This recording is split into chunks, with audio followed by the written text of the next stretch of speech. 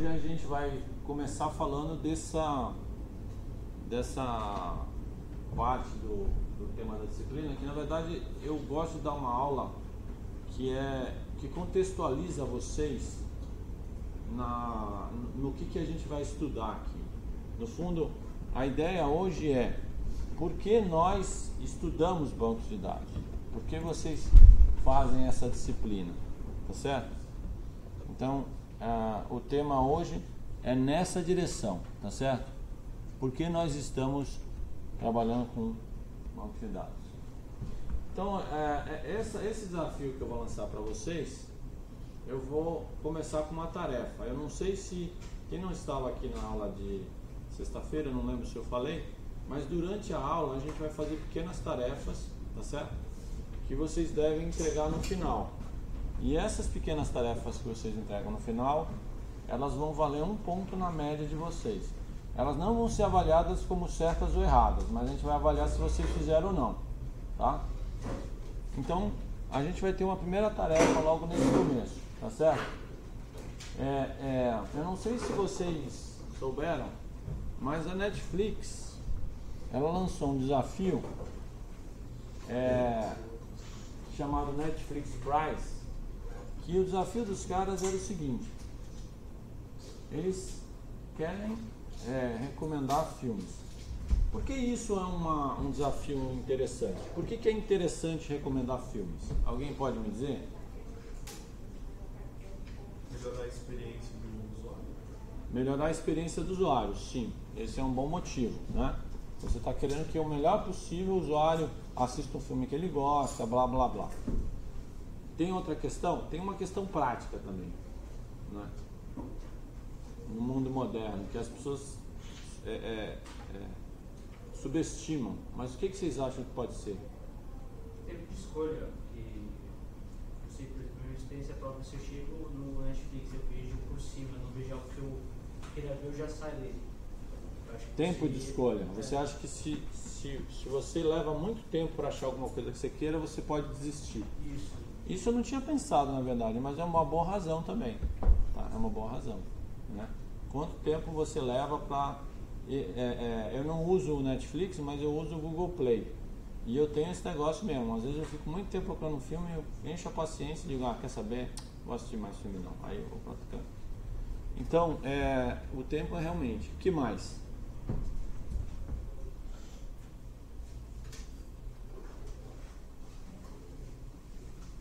É, hoje, em dia, assim, eu não sei se alguns de, se a geração de vocês pegou a videolocadora, né? Ainda pegaram, né? Então a videolocadora já era difícil você achar alguma coisa, porque já tinha muito filme. Né? Uma coisa como Netflix, é isso elevado a não sei que potência, tá certo? Eles têm uma quantidade imensa de filmes. E a grande questão é, eu não posso botar em ordem alfabética, certo? Porque o cara nunca vai achar o que ele quer. Tá? Então, como fazer com que o usuário encontre coisas que lhe interessam no meio de uma quantidade imensa de dados é um problema moderno. Aliás, a gente vai estar lidando com esse problema moderno o tempo todo aqui nessa disciplina.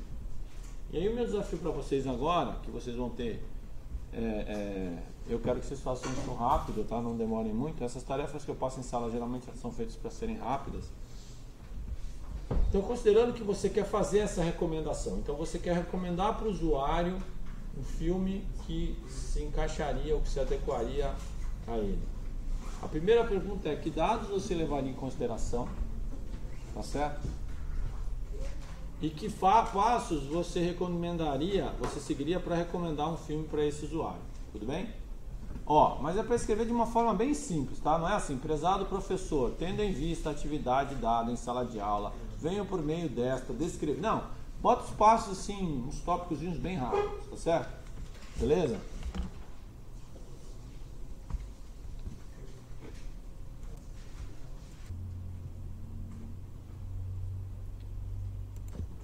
Então vamos lá. É, o que é que vocês recomendaram? O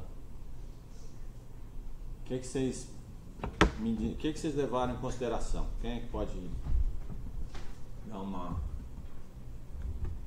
Quais foram os elementos que vocês levaram em consideração? Filmes que ele já assistiu. filme que ele já assistiu anteriormente, ok. Sem mais. Histórico de like e dislike, reprodução Netflix, filmes que gostou. Tá. Histórico lá do que, do, do que você gostou lá do filme, que mais? Eu coloquei pra seguir mais a, o histórico atual dele. Porque as pessoas geralmente têm um, gosto mais, tem, como posso dizer, temporal. Tem certos momentos que a pessoa quer ver uma coisa e certos momentos que ela quer ver outra. Então, o histórico atual geralmente segue mais isso. Então a sua hipótese é que ela varia ao longo do tempo e que você vai dar prioridade ao que está mais recente. Isso, e depois, se tiver uma procura mais alta, expandir pro anterior. O que mais? O cara acabou de entrar no Netflix, e aí? Recomendo que tá todo mundo assistindo no momento. Tá muito popular. O que está todo mundo assistindo no momento? Alguém pensou em mais alguma outra coisa? Precisar, tipo, como o Spotify, que o usuário mostra um pouco da preferência dele e já monta em cima disso. Pode ter uma preferência inicial. O que mais? A faixa etária também, recomendar se for usar for de criança, se for de adulto. Faixa etária. Hã? meio que criar um perfil. Por exemplo, uma pessoa triste, aí botar só tudo triste. Perfil? Pessoa triste. O exemplo que eu quero dar é uma pessoa triste, né? É tipo uma pessoa que assiste filme sexta-feira, três da manhã. Ah. Ou ele trabalha de turno, né? então, é, é triste também, tudo bem. Mas assim, ó, é, ok, legal. Então, é, vocês estão vendo, a ideia do perfil é uma ideia interessante. Um, um- dos trabalhos que eu vi interessantes que desenvolveram essa coisa de perfil foi um, um site é, chamado Pandora.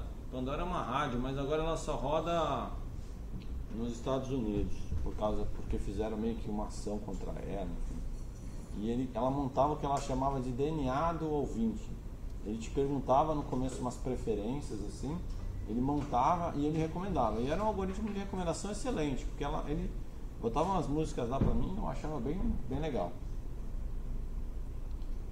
Bom, é, eu vou mostrar para vocês uma possível técnica que poderia ser usada nesse, nessa recomendação e ela vai servir só como substrato para o que a gente vai mostrar hoje, tá certo?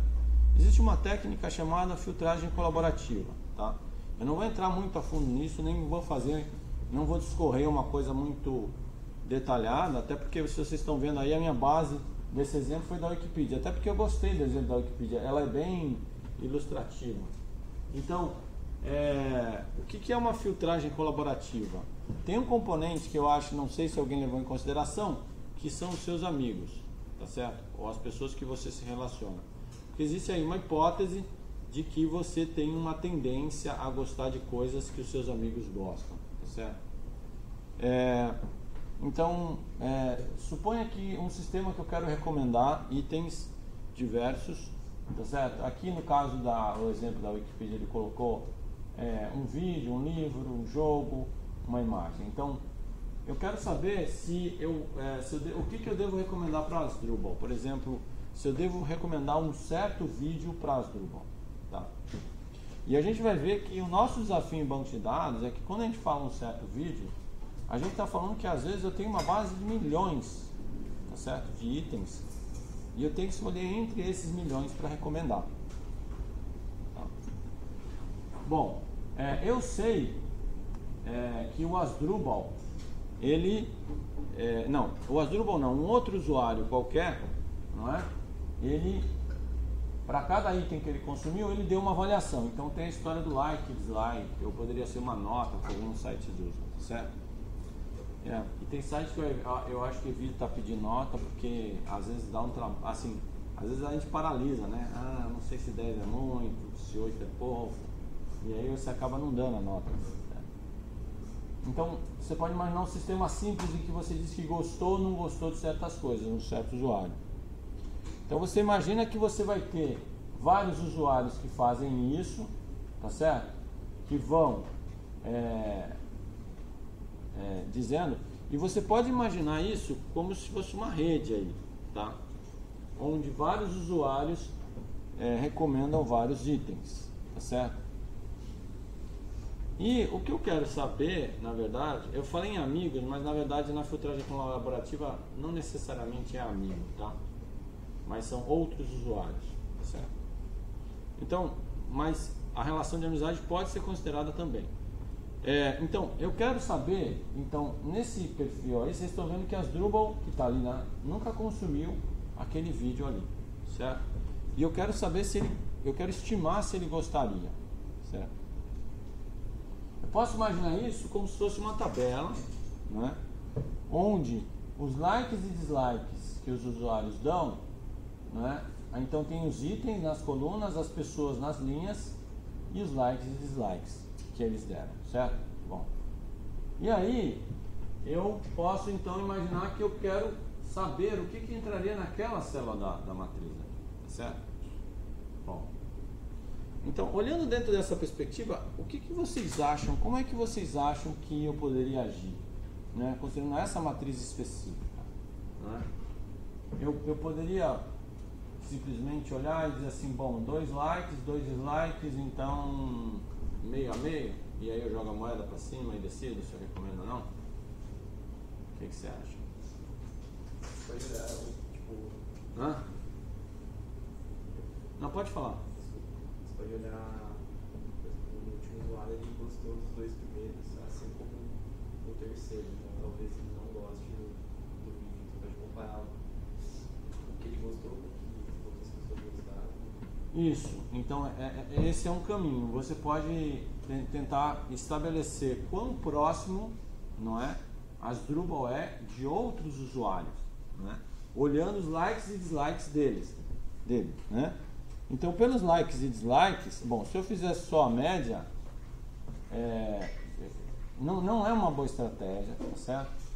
E às vezes eu vou chegar no impasse, porque os demais podem não pensar como as Drupal, certo? É,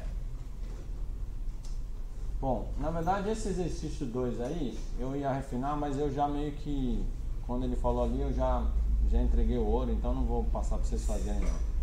Não, não, mas era para falar mesmo, é que eu esqueci que eu ia colocar como exercício. Então a ideia básica é que eu posso olhar os outros caras, tá certo? E dizer assim, olha, é, bom, é, aqueles dois que estão de verde ali, eles são parecidos com as Drupal mais do que os, os outros dois que não estão de verde. Por quê? Porque os três itens, os dois itens que, de avaliação comum não é, estão iguais. Então eles se parecem mais com os Drupal do que os demais. Tá certo? E nenhum desses dois que são parecidos com as Drupal gostaram do filme. Tá certo? Então, nesse caso, eu não recomendaria esse filme para eu estou mostrando um cenário bem simples para mostrar para vocês. É, quando você considera milhões de itens e milhões de usuários, isso vira um conjunto de dados gigantesco. Tá certo? E esse é o nosso problema moderno. Na verdade, é, a forma como a gente ensina banco de dados hoje em dia mudou muito da forma como se ensinava banco de dados quando eu comecei a estudar. Tá certo? Quando eu comecei a estudar, a gente falava de banco de dados é, da forma mais tradicional, né? Então, a gente falava assim, bom, as aplicações computacionais de, de todos os tamanhos lidam com dados, né?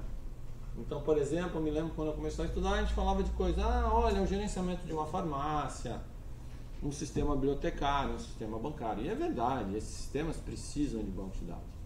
E o que a gente vai aprender aqui também é para esses caras. Porque na verdade, no final das contas, eles ainda são os maiores usuários de bancos de dados, tá certo? E eles ainda precisam de sistemas bem estruturados para atender a demanda deles, tá certo? É... E o, a grande questão é que os grandes volumes de dados e as relações complexas exigem tarefas específicas para gerenciá-las. Então a gente precisa ter uma estratégia muito própria para gerenciar esse grande volume de dados, tá certo? E aí criou-se esse termo banco de dados, que seria uma área da computação que se preocupa especificamente com isso. Eu tenho um monte de dados, eu tenho relações complexas entre dados e eu preciso ter um jeito de lidar com esse volume gigante. Então, a gente meio que tenta classificar nos bancos de dados o que a gente chama das aplicações tradicionais, que é o que eu mostrei para vocês, que eu estudava quando eu comecei a computação lá, gerenciar farmácia, sistema bibliotecário, sistema bancário. Mas vocês têm que imaginar que quando eu comecei a estudar isso aí, não tinha internet. Não vou falar o ano, né? Claro, deselegante perguntar isso, tá? É, e também a gente ainda não tinha máquinas tão poderosas como hoje, com recursos de multimídia, de imagem, essas coisas. Então, os bancos de dados eram basicamente alfanuméricos, vamos dizer assim, coisas bem mais simples. É, aí depois, a primeira coisa que aconteceu logo depois é que os bancos de dados começaram a lidar com os dados mais sofisticados. Então, por exemplo, ah, o, banco de dados começou a tratar multimídia, né? Eu tinha que botar coisas. É, bancos de dados geográficos, é, o que a gente chama de data warehouse, que a gente vai depois estudar isso em detalhes, que é, ah, eu quero guardar todo o histórico, tudo, todas as operações, as coisas que eu fiz na minha empresa, né? O que é relevante disso, para poder, por exemplo, dar suporte às minhas decisões futuras. Então, essas coisas começaram a, a crescer, né? É, e aí, vamos imaginar nesse contexto das aplicações tradicionais, né? Vamos começar desse ponto das aplicações tradicionais e vamos começar a pensar onde entrou o banco de dados nisso aí, tá? Então vamos imaginar aquela coisa que eu estou chamando de uma aplicação tradicional simples, o gerenciamento de uma biblioteca, tá certo? Então você imagina que você quer cadastrar membros associados, você quer fazer o registro do acervo, livros, controle de empréstimos, tá certo? E aí você vai pensar em duas coisas quando você pensa que você precisa ter um banco de dados para dar suporte nisso aí. Uma das coisas é o que a gente chama da arquitetura. Eu quero pensar em como esse banco de dados ele é constituído do ponto de vista da arquitetura. E o segundo aspecto é a abstração, certo? Então a gente vai ver, vamos falar um pouquinho sobre arquitetura. O que, que a gente chama de arquitetura? Bom, a ideia da arquitetura ela começou a surgir porque as aplicações lá no começo, aquela, aquele pessoal que lá no começo desenvolvia banco de dados, antes, antes do surgimento até do termo banco de dados, e eu ainda vivi um pedaço dessa época, a, as aplicações elas é, abriam e fechavam arquivos isolados, tá certo? Então a gente usava muito o sistema de arquivos. Ainda na, no, no, curso de computação vocês estudam isso. Né? Então vocês estudam como é que eu abro um arquivo, como é que eu leio e gravo dados nesse arquivo. Lá em C vocês devem ter aprendido a fazer isso, ou em estrutura de dados, não sei. Mas você aprende essas coisas meio básicas aí, né? Então você imagina que num tempo remoto, é, as aplicações elas ficavam lidando com esses arquivos, tá certo? Isolados, inclusive. Então numa biblioteca, por exemplo, eu tinha um programa de cadastro de membros que trabalhava no arquivo de cadastro de membros. Um programa de registro de acervo que trabalhava com arquivo de acervo. E a galera nem pensava ainda muito em como conectar essas coisas. É, então, esses sistemas, eles tinham o que a gente chamava de redundância não controlada. O que, que era isso? A gente tinha dados que se repetiam nos dois arquivos, a gente tinha inconsistência.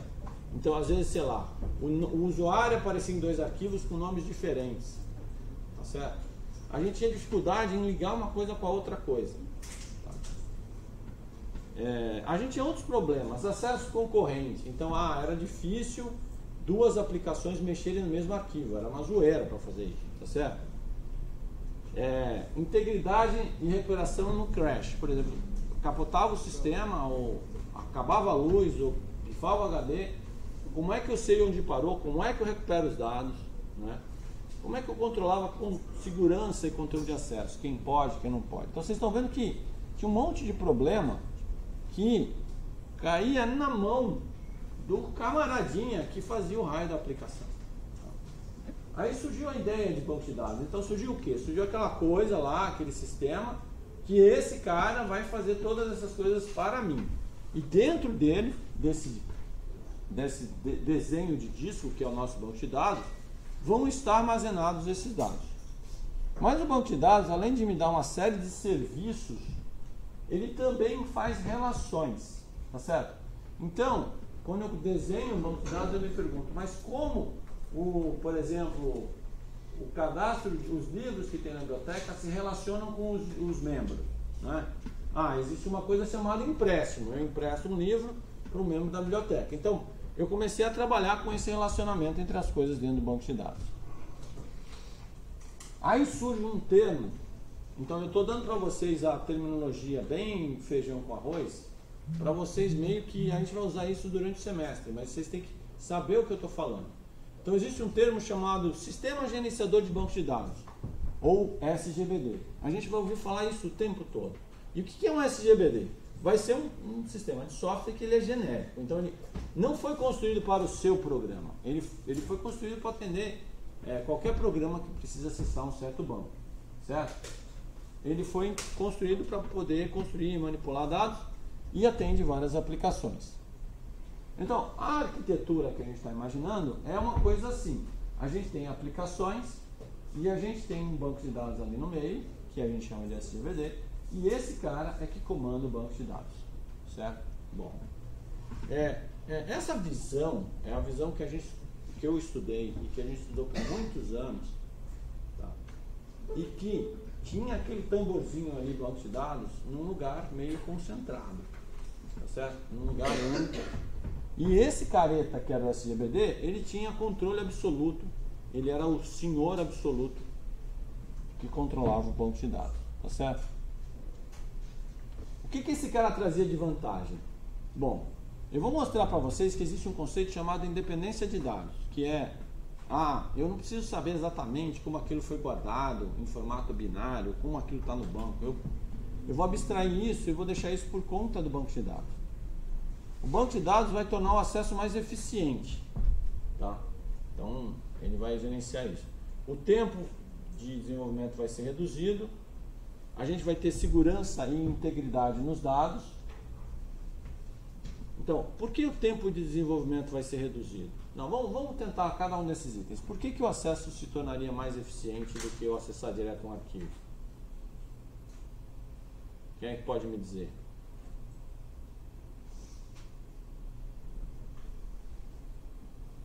Vamos lá. A galera tá com frio, né? Deixa eu ver quem não falou ainda. Por enquanto só temos uma mulher na sala. Como é teu nome? Vitória. Vitória, só você? Mulher na sala agora? É, né? Então vou ter que perguntar pra você, Vitória. Que eu vou fazer assim, meio a meio, metade homem, não, brincadeira. Vai lá. Fala aí, Vitória, por que, que você acha que o acesso é, num banco de dados ele se torna mais eficiente do que acessar diretamente um arquivo?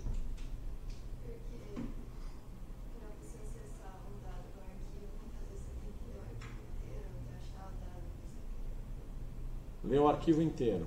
Hum.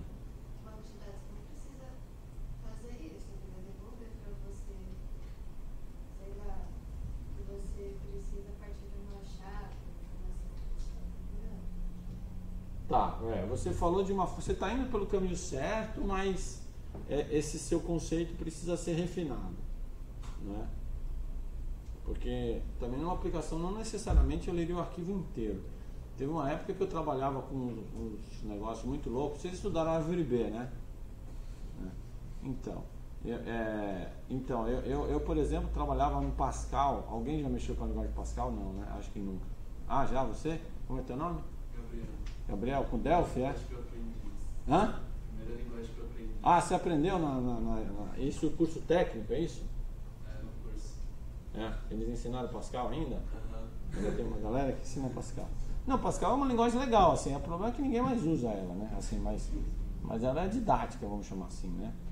E, mas na minha época a gente usava. Eu, eu, desenvolvi um sistema de controle de estoque em Pascal.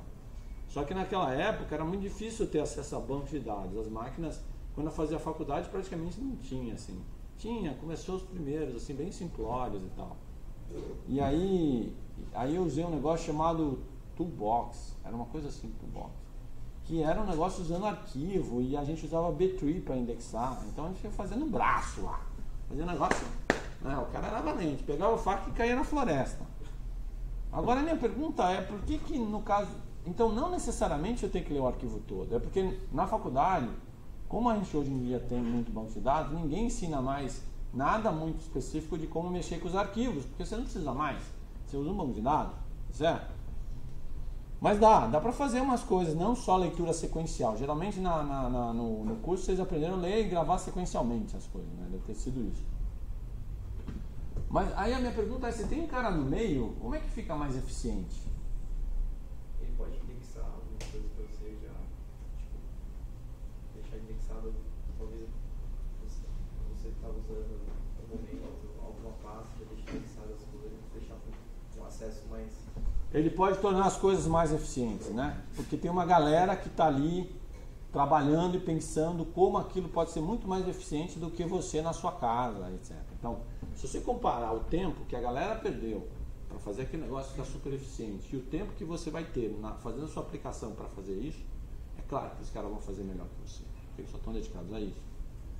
Eu estou construindo um conceito que depois eu vou destruir, tá? Eu vou implodir ele e acabar com ele inteiro, porque na verdade esse conceito ele está se modificando nos tempos modernos, certo? Então, na verdade, eu estou mostrando como se ensinava banco de dados, mas depois eu vou destruir tudo e dizer, esquece tudo que eu falei, vamos começar de novo. É sério. Ah. Não, não esquece tudo que eu falei, estou brincando. É, o que eu estou falando é sério, mas é porque muita coisa está mudando. Você ia perguntar alguma coisa? Não? Tá. É, então, o tempo reduzido do desenvolvimento da aplicação. Por quê? Enquanto o cara no banco de dados ele está pegando, sei lá, arquivo para aplicação A, o cara do meio já está ouvindo que a aplicação dele vai querer em sequência. Mas aí você está tá resolvendo um outro problema. Eu estou pensando em tempo de desenvolvimento para fazer o software que vai acessar o banco de dados. Por que, que ele é reduzido? Você precisa trabalhar com dados, desenvolver o, o sistema gerenciador que já está pronto. Exato, eu não preciso gastar tempo fazendo aquelas tarefas que quem faz é o SGBD. Isso ainda é verdade até hoje, tá certo? Se você usa o SGBD vai ficar mais rápido. É... Quem já mexeu com arquivo, cara, você gasta um tempo imenso fazendo aquilo. Sistema de segurança, integra... segurança e integridade de dados, isso é óbvio, né? Você vai ter um sistema central lá que vai garantir quem pode acessar, quem não pode acessar, vai criptografar dados, vai fazer tudo que você precisar, tá certo? A administração de dados se torna uniforme, tem só um careta lá. Hoje em dia surgiu a função do cara que é o DBA, que a gente chama, eu vou falar sobre ele, é o cara que administra os dados da organização e ele controla o banco de dados, ele diz quem acessa, quem não acessa. Acesso concorrente nem se fala, né? então o sistema permite que várias aplicações possam acessar o cara e, e, e controla isso. E a gente vai estudar aqui que esses sistemas eles têm um processo muito, muito eficiente de recuperação contra creches. Tá? Então, vamos lá. Eu não vou mostrar para vocês, eu vou fazer a surpresa. Então, agora essa foi a primeira parte, tá certo? E agora eu quero que vocês façam uma tarefa que não está aqui no slide, mas eu quero que vocês. Então eu quero que vocês tomem como base esse slide que vocês estão vendo aqui, com essas características, tá certo? E eu quero que vocês me digam, tá certo?